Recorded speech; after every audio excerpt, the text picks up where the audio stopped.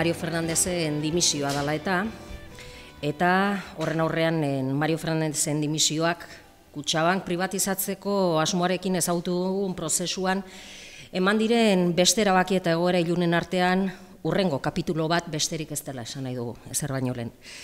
Baina eta berriro Euskal Herria bilutik salatu dugu PNV-ek eta PPek, PSE komisionez eta pixkanaka taldeen laguntza eta babesarekin bultzatu duten prozesu honetan, izan diren presak, gertakari ilunak, arduragabekeriak, interes eskutuak, informazio eta eztabaida publiko ezak eta abarrak.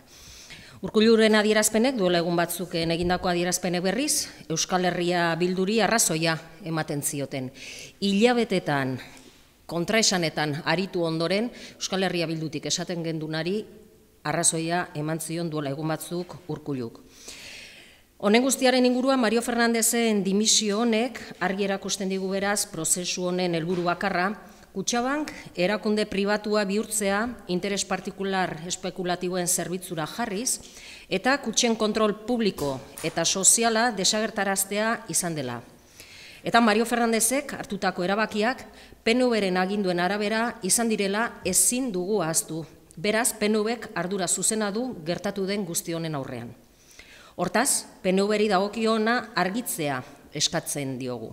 Zertara eta zergatik datorren Mario Fernandezen dimisio orain. Zernolako kontrola eraman du eta daraman PNV alderdiak Mario Fernandezek hartutako erabakietan. Euskal Herria bildutik zera adierazi nahi dugu. Privatizazio prozesua estela geldiezina. Ireki berri den eskenategian privatizazio prozesuari buelta eman dakiokegula eztabaida irekitzeko, jendarteari informazioa zabaltzeko eta maigainean jarri diren beste proposamenak aztertzeko.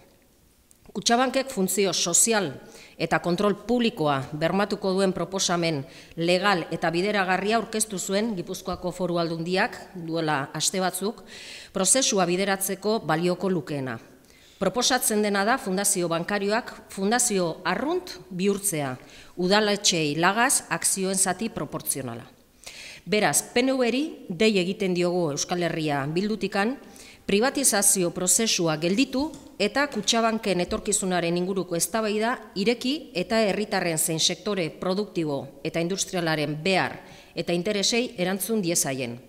Kutsabankeko kontrol publikoa eta funtzio soziala bermatzeko eta entitatearen despatrimonializazioa ekiditeko benetako borondatea baldin badu, hau da momentua frogatzeko.